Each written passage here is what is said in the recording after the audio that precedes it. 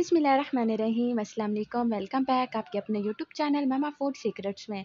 आज की इस वीडियो में मैं आप लोगों के साथ शेयर करने लगी हूँ सैंडविच की रेसिपी, जिसे बनाना बहुत ज़्यादा आसान है। आप इसे केचप के साथ खा सकते हैं, चटनी के साथ खा सकते हैं जिसके साथ खाना चाहें तो इसे बनाना बहुत आसान है। बच्चों को बहुत ज़्यादा पसंद आने वाला है।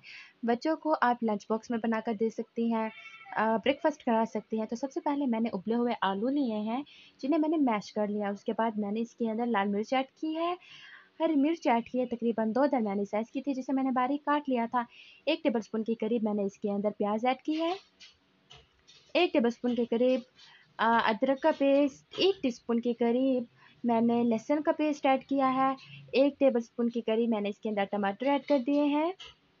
उसके बाद मैं रेड चिली पाउडर ऐड करूँगी नमक ऐड करूँगी थोड़ा सा हल्दी ऐड करूँगी वन पिंच के करीब, काली मिर्च ऐड करूँगी हाफ़ टी स्पून के करीब, उसके बाद गरम मसाला ऐड करूँगी हाफ़ टी स्पून के करीब, और कश्मीरी लाल मिर्च ऐड करूँगी हाफ़ टी स्पून के करीब।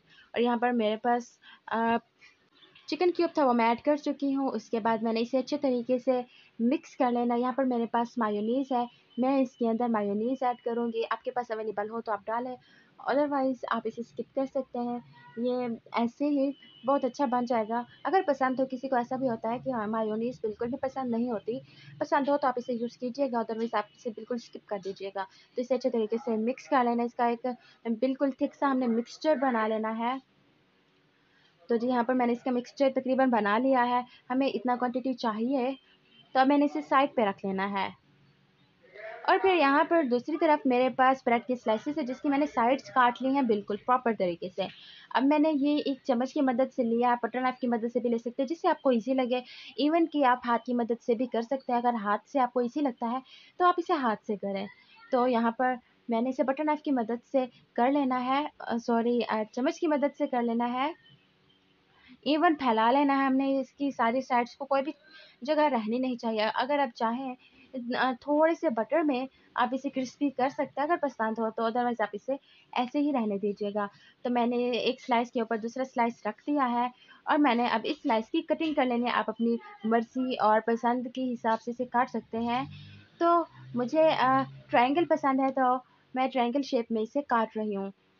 अब अगर आप चाहें इसे मज़ीद डेकोरेट करना चाहते हैं तो इसकी साइड्स पर आप निम्को से इसे डेकोरेटेड कर सकते हैं। उसके अलावा मायूनीस है केचप है बहुत सी एसेसरीज मिलती है सैंडविच को डेकोरेट करने के लिए तो आप उसे भी कर सकते हैं। दूसरा मैं इसी तरीके से बना लूँगी होता क्या है कि बच्चे ना तो कोई भी खाना ढंग से नहीं खाते बस उन्हें चीज़ लेस वगैरह से ही आ, मतलब होता है। तो इसमें आ, सारे सारे का सारा पोर्शन बच्चों को मिल जाएगा। हम बच्चों को टिफ़न बना कर देते हैं लंच बॉक्स तो वो बिल्कुल भी फुल वैसा ही आ जाता है, वो उसे खाली नहीं कर पाते खा नहीं पाते क्योंकि वो उसे पसंद नहीं करते। आप इसे बनाइएगा, यकीन जाने आपका सारा टिफ़िन खाली आएगा। बच्चे इसे बहुत ज़्यादा शौक से खाएँगे। इसे एक बार ज़रा, ज़रूर ट्राई कीजिएगा और अपना फीडबैक ज़रूर दीजिएगा। सो गाइस आज की ये मज़ेदार रेसिपी आपको कैसी कैसी लगी? अगर वीडियो थोड़ी सी भी पसंद आई हो ना तो अपनी फैमिली के साथ फ्रेंड्स के साथ ज़रूर शेयर कीजिएगा। और अगर चैनल पर हैं तो चैनल को सब्सक्राइब करना बिल्कुल मत भूलें। इससे क्या होगा कि हमारी हर नई आने वाली वीडियो का नोटिफिकेशन सबसे सबसे पहले आप लोगों को मिलेगा। अगर सब्सक्राइब नहीं करेंगे तो फिर हम एक दूसरे को खो देंगे।